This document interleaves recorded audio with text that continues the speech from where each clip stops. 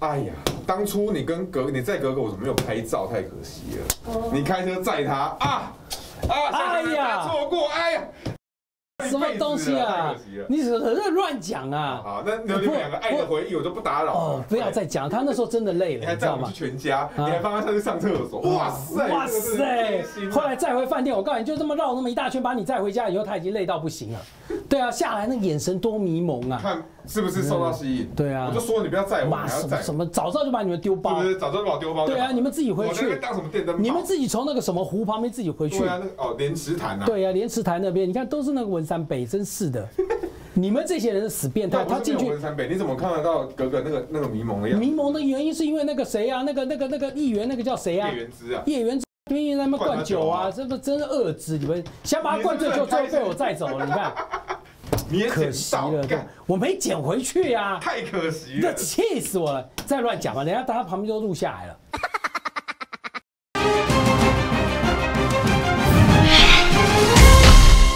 三二，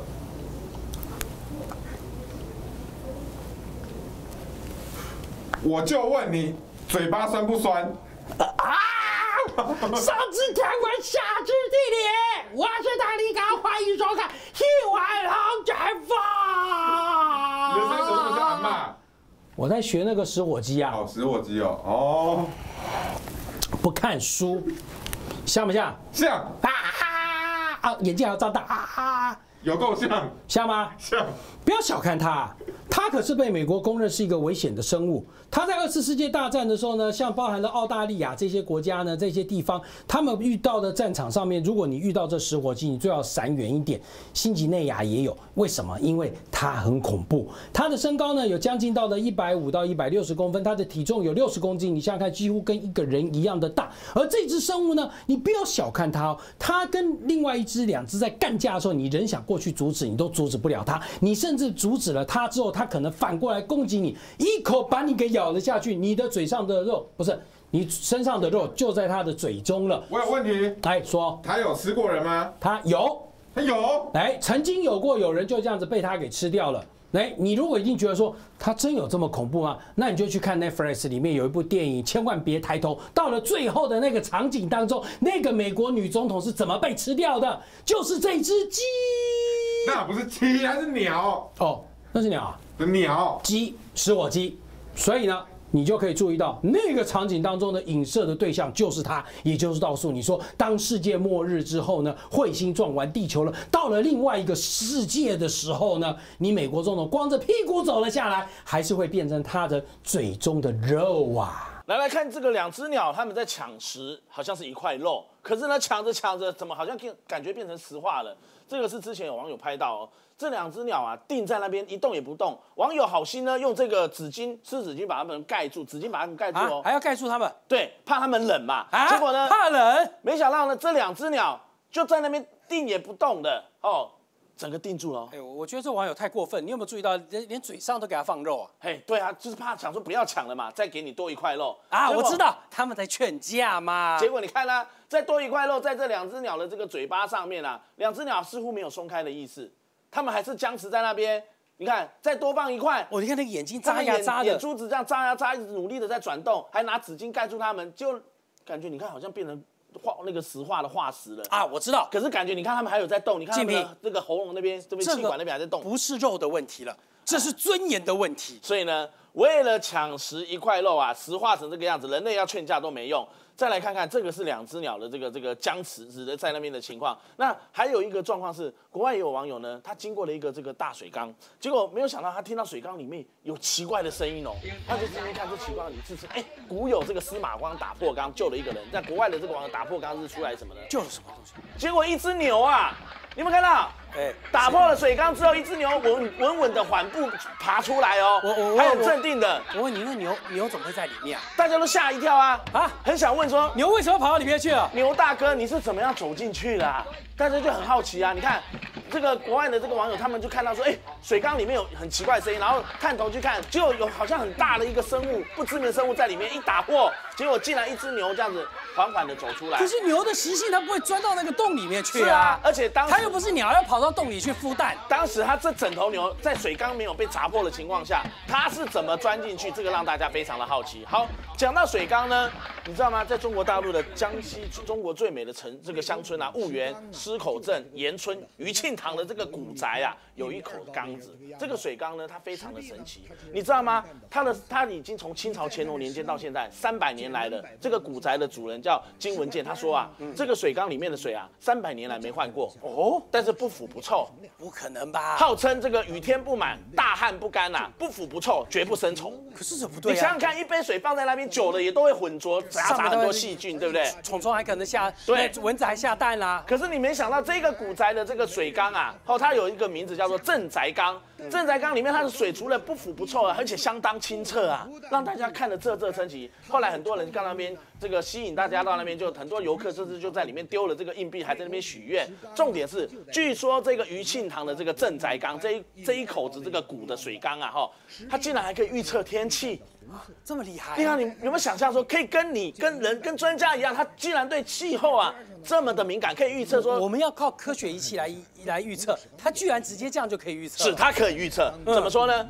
这个金文健老先生，他是一个茶商，他说啊，有一天他想要去换水，因为他看到水开始浑浊啊，结果没有想到正要换的时候还没换哦，就下起大雨来了。嗯，哎，一人家说那个缸子啊，一浑浊的话，三天内必下大雨。果然，当他换水的时候，马上下的大雨。然后呢，水池如果是保持清澈透明的时候，绝对是晴天，也就是不可能下雨。哦，结果三百年来，从以前祖先到传到这个金老先生到现在都没有变过，没变过这样的理论，都是这样的一个状况，屡试不爽。哎，大家都很好奇啦，吸引了专家学者来研究这个镇宅缸的古缸子为什么会造成这样的一个现象。后来他们发现。这个镇宅缸，它是用一个花岗石的这个材质去凿成的。那岩石里面可能有一种这个矿特殊容易溶解的矿物质，这种矿物质呢，它对这一种温压的这个反应特别敏感。也就是说，呃，当这个空气湿度增加的时候呢，同时它的这个气压也增加，哎，气压下降了，下降了之后呢，它的这个水里面的这个溶解度啊，就跟着下降了。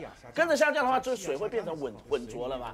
果然没多久就开始下雨天。那相反的，如果是放晴的话，它的这个湿度降低了，结果它的那个气压就增高，好，它水中的溶解度呢，它也就这个慢慢的增高。那增高的话，它的这个水质呢，它就会反而变清澈了。对。就是造成说，它就不会变得说，好像呃，他每次预报气象，好像都可变得特别准，不会拉差的那个原因。那很多人讲说，那如果是这样，好，可以解释得通，因为它放在户外嘛，它是在它那个前后天井、后天井那边。那如果说这样的话，那为什么不腐不臭没有虫呢？哎，对呀，因为它放在外面水又没有换过，他们这个下雨天的水会一直掉下来，那它里面养了一些鱼在里面，然后那里面的动植物经过这样子水不是一直降下来，他们叫做天落水，就是有天降洪福的意思。那天落水呢，这个水里面就会不断的有时候去它里面。的这个动植物呢，它就有净化水质的作用。所以你是说，等于这些动植物在净化水质，然后水又刚好一个水循环的系统，是使得它变得就是一个自然的环境了。对，这个系统环境呢，就造成它水质就是这样的一个清澈。所以知道的这个专家学者研究出来的结果之后，大家才说哇，原来这个正宅缸还这么稀奇啊！我们说到看完了这些前面的神秘的鸟的事件之后，我们来讲讲中国大陆的贵州了。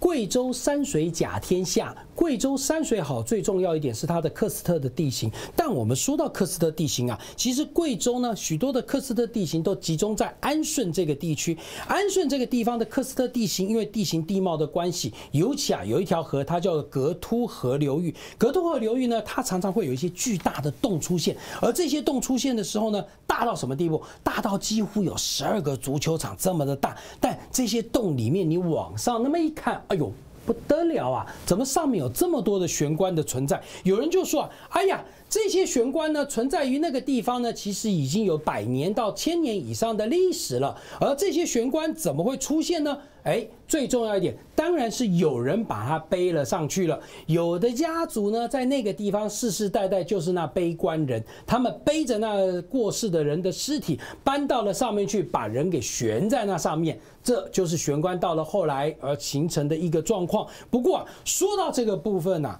大家可以注意到，这些背尸人可是不得了，甚至有的祖传已经达到有七代的时间了。而这七代当中，你可以看到，有的家族里面兄弟姐妹大。家都是那卑视人。可是呢，他们像蜘蛛人一样爬在那悬崖峭壁当中，身手可是非常的矫捷。有人就说：“哎呦，贵州的蜘蛛人，那就要说到那个突格格突河这个地方了。”但说到格突河这边呢？现在还有玄关的存在，但是呢，一般来说都是以表演性质为主了。因为现在目前的人呐，你不可能当玄关葬在上面哦。那我们就来看看这些背尸人，他们怎么把尸体。背到上面去啦。贵州有条河叫格凸河，这一条河上面有一个燕子洞，是一个非常漂亮的风景区。它在贵阳差不多一百六十公里的地方，它号称什么？全世界最美的卡斯克地形，它拥有全世界最大的钟乳石溶洞，叫燕子洞。这个地方很多地质学家都会去考察，而且这里面。最好玩、最刺激、最惊险、最神秘的什么？是什么？就是它那边有三四百口的玄关藏。那在燕子洞进去的时候，它因为它是个大溶洞，它那个溶洞的两侧其实溶洞是非常非常湿滑。那一般人你要把它爬上去，几乎是很难很难的。那上面可以抬头一看呢，上面就像照片影片当中一样，一口一口一口的数量非常多、集中的玄关藏呢，密密麻麻就在燕子洞的上方。嗯，那大家就想说，哇，这。谁会把这样子到底怎么把它放进去的？他怎么放？从上面往下掉？不对啊，应该是个溶洞里面啊。不可能。那你说你要从上面往上爬，那岩壁非常湿滑，这工程非常浩大。那他们到底怎么弄？一般来讲，像这种玄关杖，它大概有分三种形式。嗯，第一种叫木桩式，就是呢，它在岩壁上面打木桩，打木桩之后把棺呢放在木桩上。好，那燕子洞算这个算最多。另外一种叫自然洞穴杖，就是它原本就有个洞穴，就把棺呢往塞在那个自然洞里面塞进去。这种呢，这第二种。第三种就是凿洞式，就是呢原本的岩壁上没有洞，我把它凿开，凿开之后把棺放进去。好，那他们就说呢，第一个。要上去的话，他们必须要有人呢是要练过的，而他们这种四上去的四个一组，不好爬，很难爬。而他们就是有像这样子的一个，就是算是他们呃四个一组的一个，算是攀爬小组。哇，你看这简直就这个攀爬小组，他们完全身上不用任何护具，徒手就可以攀登上去。攀为什么四个一组呢？是因为他们这四个人平常除了采燕窝清验粪之外，他们呢就是在有人过世的时候，他要负责呢先背。你看，好危险啊！非常危险，一只手根本就是极限运动，摔下去了。对，就像极限运动那种徒徒手攀爬一样，非常厉害。他们要背了四片大木板跟两片小木板呢，先爬上去，然后先钉木桩，木桩钉好之后，这连人爬都很难了，居然还要背木头上去。对，背木上去之后，先把木桩钉好之后，把四片大木板、两片木板呢，刚好组成一个棺材。嗯，煮好之后，再把死者呢，这样扛扛扛，四个人把死者。你说也要这样子扛上去？对，就是他们徒手要把死者扛上去。把死者安葬好之后，他们的苗族人呢的他们的法师叫莫公法师呢，才在下面开始的祭祀、唱歌，三天三夜时间帮他做法事。做法事的时候，他们还只能够就是喝酒，不能够吃任何东西，让他的灵魂能够回到他祖先苗族人祖先家里去。然后他说：“那为什么？”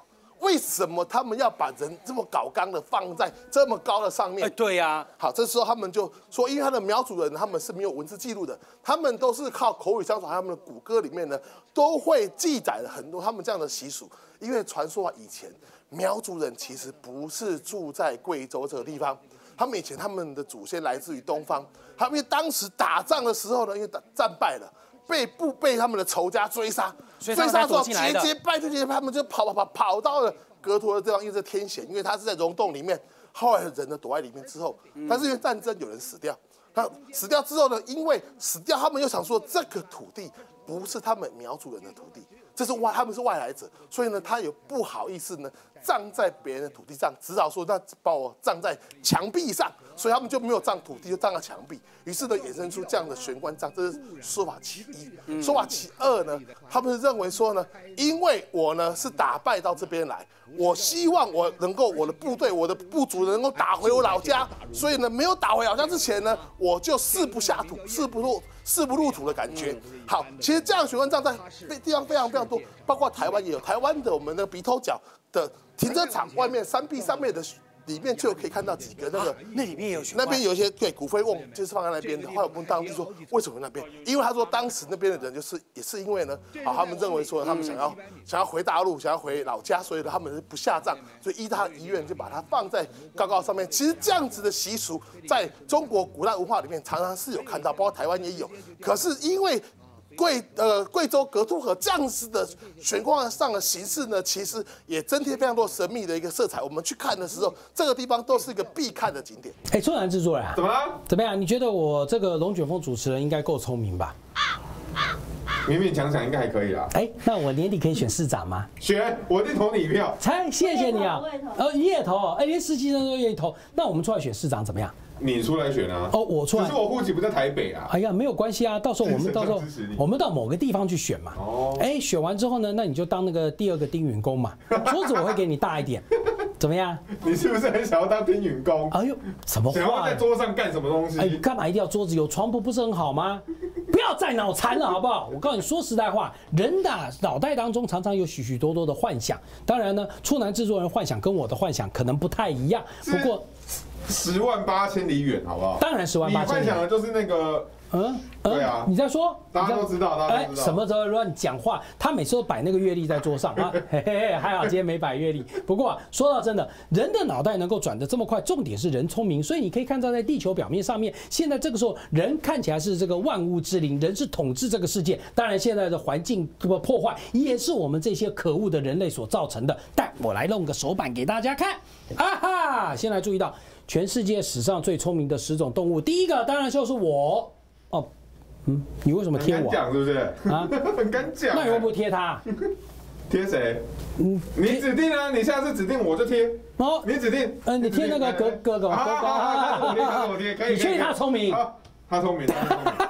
你敢说他不聪明？大清帝国的，对不对？一定聪明。灭掉了！现在我们民国时代了，还在大清，你还想反民复清啊？去做梦啊那！是你哦，反面父亲是你讲的哦。没有，那是那个谁讲的在？李奇源那一集讲的。星爷讲的啊。那第二聪明的是猩猩，呃，猩猩不好意思啊，被人类关在动物园里。第三聪明是海豚，海里面悠游自在，不过赏金船可以去看它。第四名是大象，哎呀，大象在许多的国家，嗯，在泰国是受到尊重的，很多国家还是在做苦力。好，等一下，我考考你，大象那个图案是谁？是叫什么名字？小飞象啊，哦，不错哦，哎，第一个通关了。够老的才知道好不好哦？真是的，搞不清楚啊。那再来呢？第五个大脑袋的动足类动物，你在说什么？章鱼啊？章鱼啊，哎，章鱼就是吧乌贼？章鱼就是大脑袋。哎，它还第五名聪明，居然还比乌鸦聪明哎。哦，对，所以啊，你到日本去看到一堆乌鸦，你想想看，章鱼居然比乌鸦聪明。那接着呢，松鼠也很聪明，怪不得会台电断电哦。没有松鼠的功劳，怎么会有台电的断电呢？所以呢，中共投入人是谁？是松鼠。中共投入人是鸟类。嗯，那中共投入人会不会未来是狗啊？哎很难讲啊，哦。对啊，他跑到台电的变电箱把那个电线关掉了，所以狗也算是中共投入人。不要再脑残了，好不好啊？我讲的是谁，你们自己去想吧。哎，第九名是猫，哎呦，没想到狗跟猫比起来，猫居然比狗笨呢。哦，哎，第十名是。猪，猪，来，猪是谁？你最熟的。佩佩猪嘛。松鼠那两个图案是什么？松鼠那两个图案，你你你你你你跟你你你你 你你你你你你跟你是米老鼠。啊，这样子啊，琪琪琪跟弟弟。对对哎对对。讲不对的话会被打啊。来，那猫那个图案是谁？猫，最近很嗯红哦，加菲猫吗？不是，你猫在看猫猫。猫剑客，哎呦，差一个。这个猫剑客是不是跟对，差一个，差一个是邪猫剑客。邪猫剑客嘛。好，那这只家伙是谁？来，我就问，我就问，这他叫什么名字？你答得出来，我马上带你去哥哥的房间。他小屁。嘿嘿。哎，我叫什么名字啊？我也它叫我是那个卡蒂狗，它是神奇卡蒂狗，卡蒂狗卡利宝可梦。我还需要你带带我去他房间你这么笑笑话？卡蒂狗，好好，我知道了。我也很年轻，只是我最近不看他而已。哦，哎，对我看的是借口，不过我就勉为其难的讲。你在欧北够嘛？你也带不了我去他房间，你们做梦好了不能再乱讲了。但我们说到这十个聪明的生物排名当中，我们来讲佩佩猪好了。不要小看佩佩猪啊，佩佩猪在卡通里面的表现跟人几乎一模一样。可是呢，人家说到猪，你不要骂人家是猪哦，猪其实很聪明哦。猪怎么聪明法？科学家曾经做过一个研究，他们用一个指针要让猪去辨别一些东西，没想到猪居然去搬动这个指针，而且指到猪所看到的东西跟方向，还有这些个标的物，它都完全可以对应到。所以可见的猪很聪明吧？不要小看佩佩猪啊。在那当年的时候，如果猪先站起来走路的话，现在这个世上都是猪了，对不对？好像有点道理，有道理吧？好像有你看吧，所以呢，觉得被说服。谁先站起来，谁就是猪嘛。啊不，谁就 谁就是统治这个世界。但我们说到猪啊，有人说，哎呦，猪你看它好脏啊，都在泥巴里滚来滚去啊。其实不是啊，因为它不像人有汗腺会排汗，它要降温就得到泥巴里面降温。h o g a 仔，现在不是猪在统治世界，要不然到处都是泥巴坑喽。哇哦！哎，你要不要去滚泥巴坑啊？我不要。哦，你不要。我不要。哦，你是不是想要跟哥哥去滚泥巴坑？我为什么？我为什么不去滚温泉池啊？我为什么要滚泥巴？哦，所以你想跟他泡温泉嘛？这种天气泡温泉不是很舒服吧？对不对？哦，哎你是想要跟他约泡温泉就对了。你不要再乱讲话，你那个泡温泉跟。泡再来温泉，那个是字眼不一样的啊！不要越讲越楼歪。我们明明在讲生物之间的问题，你怎么可以讲到了生物是生物之间的问题？你讲生物跟生物之间的问题，讲到是单向生物，不是想到多项生物。我们讲的是多项生物。嗯，但是大家也是人鬼殊途吗？哎，他是人哎。对啊，所以你是鬼啊！我也是人 呢。我们是同类生物，可以做同类的事情。不要再听制作人乱说了。言归正传。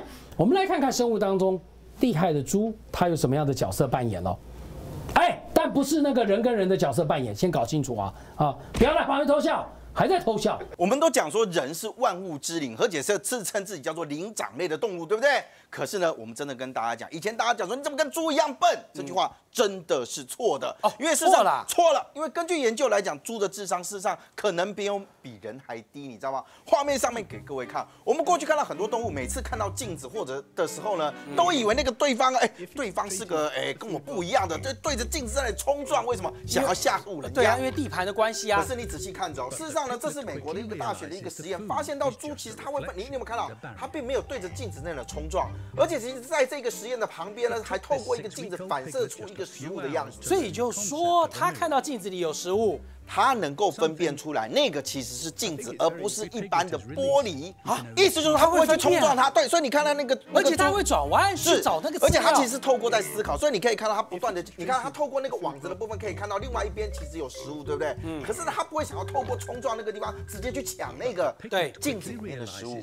可是如果看到我们过去曾经介绍过动物的影片，那个大家每次都要拼了命啊，自己的倒影就拼命在那里狂叫狂吠的，猪倒是不会，你知道。而且透过镜子来分辨的这件事情。其实你知道，除了猪之外，还有海豚。我们认为的高智商的时候，猩猩有说过。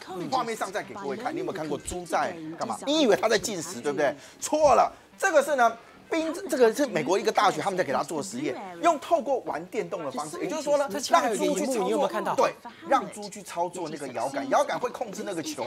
如果它能够顺利的把那个摇杆的那个球控制到那个框框里面，食物就会掉下来。所以也就是说，他知道怎么样去控制摇杆，没有错，而且他知道让那个球，不简单呢，他一定要达到那个边框的那个位置的时候，他才可以吃得到食物。所以你可以看到，他们从这个里面发现到，猪其实具有高度的集中力。同时，你在我们在讲说，在过去马戏团里面是不是看到很多的动物在这那个做表演啊？猴子、狗大家都不觉得稀奇，可是你可以看到，他在用猪来做学学这个把戏啊？猪可以做吗？对他下指令哦，你会觉得他真的不像是猪，像这个丢东西、捡东西回来，那不是小狗在狗狗的动作一样，这不是小狗在做的事情吗？可是你有没有看到，他们透过这样一个训练呢，去训练小猪，它可以呢跳圈圈、赶羊，甚至呢还可以做原地的旋转，还会升国旗，还会升国旗，你知道？所以猪的学习的能力事实上是非常非常强的，而且它有极佳的记忆力。可是它刚没有没有手，它居然可以转那个升旗的，没有，因为它会用它的猪鼻子嘛，因为猪鼻子其实它会拱东西，所以你可以看到在这里面，它甚至可以拱球进入跨越障碍之后，把球推到什么？推到球门里面去，然后来来获得这样的一个奖励。所以你可以看到朱奇在学把戏的这个过程当中，所以你说他记忆力很厉害，没有错。在做这个把戏的过程呢，你现在画面这样在看，他可以把这个有不同颜色的东西，然后呢准确的放到那个框框里面去。有没有？他试图把它放到框里面去，哎，光这件事情大家就会觉得说，哎，注意注意，它是可以放的，它放而且你可以看到颜色不一样，它完全同样造型的东西，是不是？他把同样颜色的放到同样造型的里面，所以它会分辨颜色，是，它并不是单独只是想说哦，我找一个东西塞进去而已。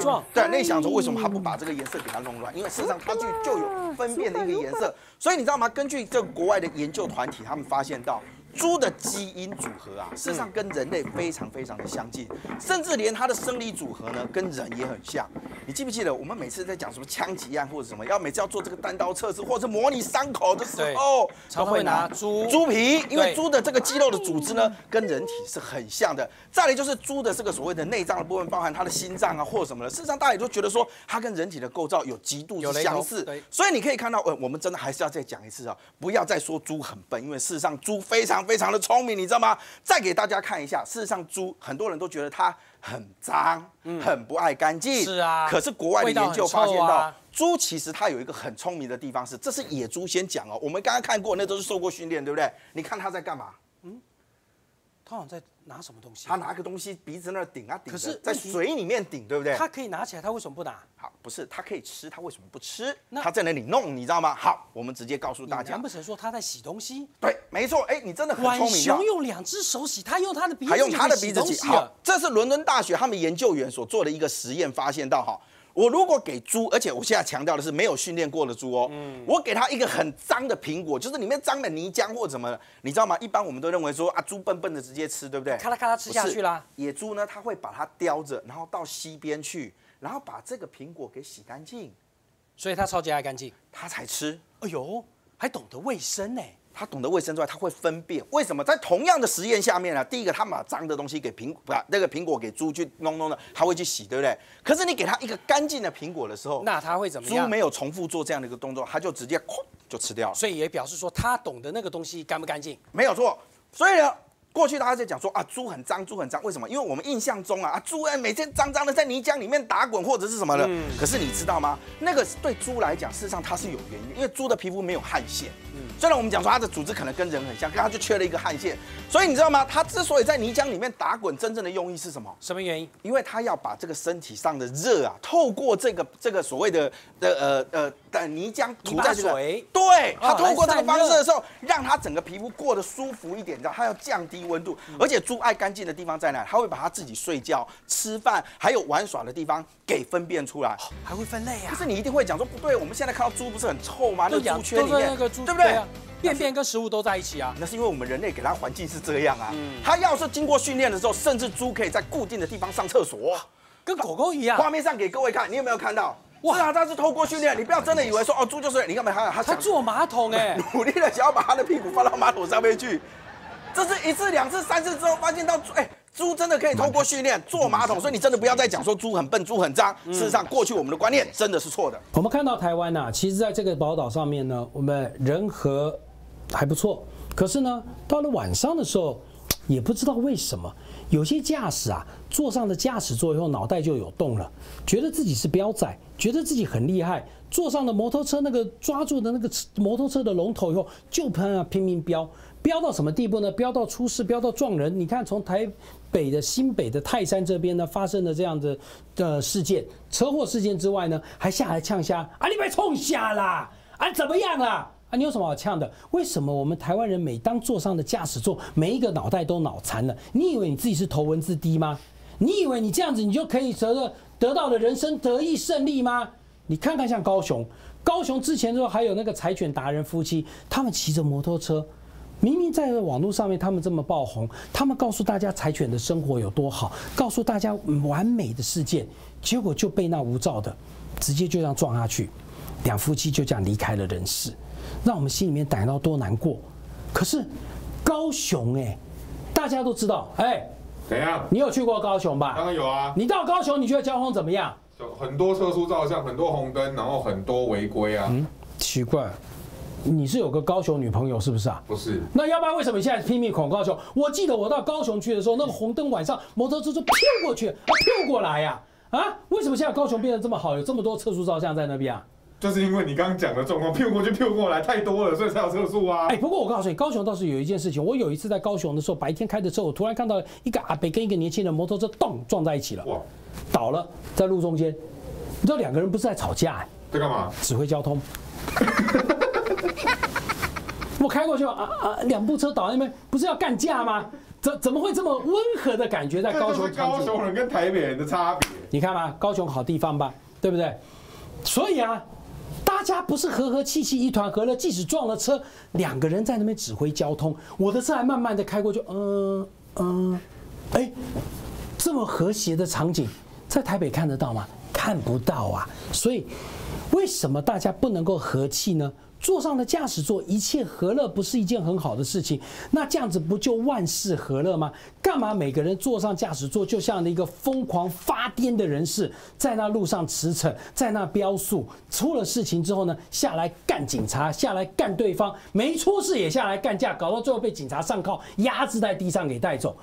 和乐不是件好事吗？大家来看，在高雄发生的，你知道那个小屁孩才刚满十八岁，其实他一脸青涩。大家看，他被两名保大员警为什么要压制在地哦？仔细看哦，仔细看哦，他还踹警察，看到没有？哦哦，已经被压制还踹警察，嘴边一直念脏话，嗯叭叭叭叭，就一直在呛警察就对了。他干嘛？他无照驾驶嘛，啊无把你拦下来，那他怎么那么嚣张啊？推警察、骂警察，你知道？然后警察把他给压制住了以后，他还要踢人家。啊哇，天哪，他到底干嘛？好，现在这个小屁孩不但怎么样，不但是无照驾驶，对不对？在罪加一等，妨碍公务。好，这是我们看到我们台湾警察执法的方式，你会不会觉得其实蛮温和的，对不对？来看一看美国警察是怎么做的。来看这个画面哦，哎，在街头上，哇，好炫的法拉利啊！暂停，对不起，老兄，你已经违规停车了。这穿紫色衣服的驾驶更不理警察，咣，门关起来，你开你的单嘛，我要开。哎，他已经开始发动了哦，仔细看哦。哎，警察警察那个时候发现他要动，站在他车前，抓住那个照后镜，示意他不能动，不能动。结果他还是不管，根本不理警察，还呛。呛的结果是什么呀？警察霸气一拳就敲那个窗户，再来还不停，你还想要干嘛跑？我跟你讲，窗户把它打开了，整个门打开，你看这个警察怎么执法？仔仔细看，啊，直接拖出来了。拖下来，哇！警察竟然有这么霸气的执法，而且两名警察马上发动了，干嘛？把五花大绑放在地上，然后马上铐上手铐，路人看了都傻眼了。大家再仔细看哦，他是直接打开车门，把他给硬生生的拖下来。你看，这个要是发生在国内的话，不晓得他们怎么样投诉警察，对不对？人家可是你有没有看到，人家马上制服他，压制在地上了。三罪并罚。如果你再反抗，可能连枪都打出来开枪没错。你刚刚讲的完全正确。哪三罪你知道吗？哎，妨碍公务、袭警，还加上一个违规停车嘛。好，再来看呢，那个也是在美国，在美国的高速公路上，哎，你看看啊，这部车修理车好像是超速什么违规哦，被警察拦下来，对不对？结果这个驾驶老兄，他车门一开，干嘛？干嘛呢？他竟然从车上直接走下来，走向警察。哎，你看，你看，他还比了个手势。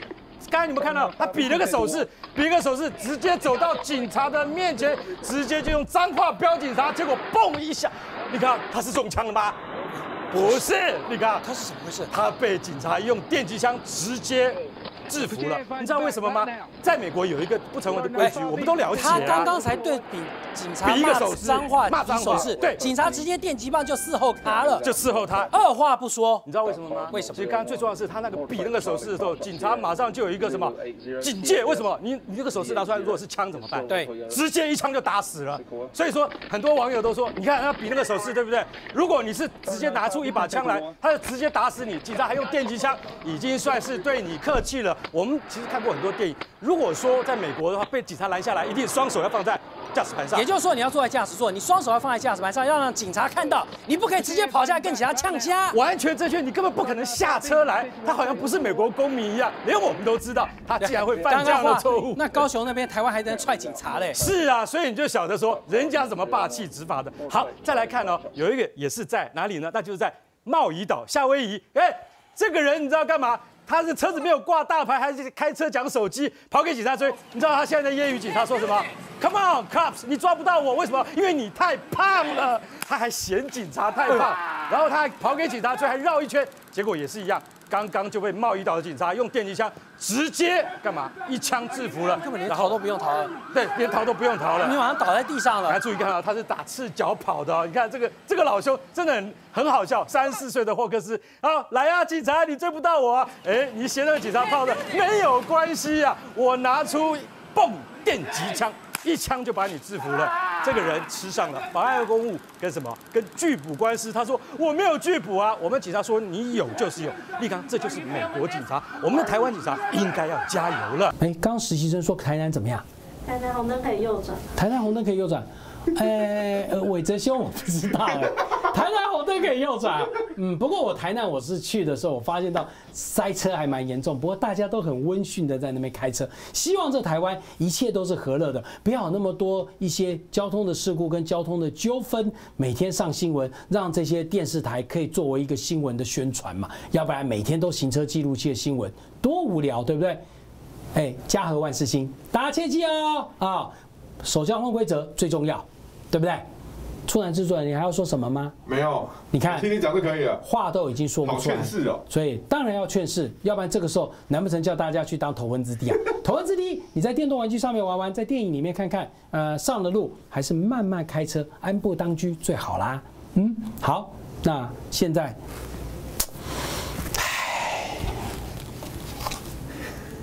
每当到了要心情和乐之时，我们就要有水神的出现。在疫情现在看你真的不是很和乐，有一点点严峻之时，其实水神清洁剂可以消毒，可以让你心灵平静。如果说你觉得喷一喷，你会看起来觉得有雾蒙蒙，感觉很舒服的感觉的时候呢？哎呦，用完了没关系，有水神生成机可以大量的取用，没事家里喷喷，保持环境清洁。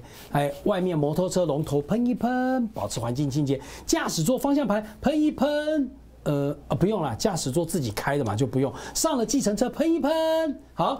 所以呢，哎，请记得。上计程车喷，我就不信问讲不会揍你。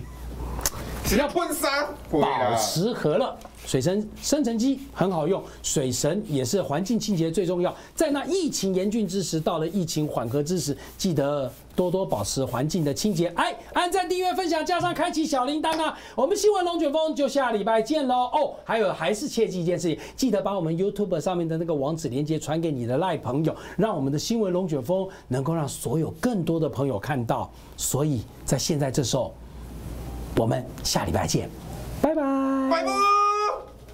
你好变态！怎么样？怎么样？喜欢吗？就喜欢棒子啊！我喜欢棒子，影像留存的，你不用狡辩。这不要再乱讲话了。我喜欢想当零号，对不对？我想当的不是，我要当一号去找那位了。哦，好，快去吧。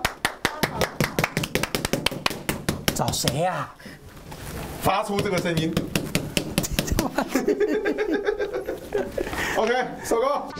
那，要推荐给大家使用我们这一台旺旺水神维酸性电解次氯酸水的生成机。好，这一台呢，其实非常适合，不论你是日常家庭使用，又或者是你家里头是开门做生意的，有很多防疫需求的话，都非常的适合。